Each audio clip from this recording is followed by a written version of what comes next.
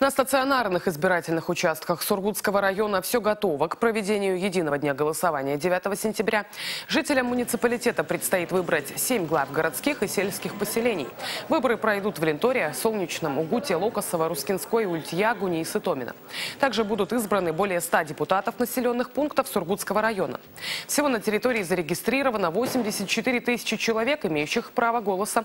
Их будут готовы принять 50 избирательных участков. Любой житель муниципалитета, кто 9 сентября не сможет прибыть на свой избирательный участок, вправе проголосовать досрочно.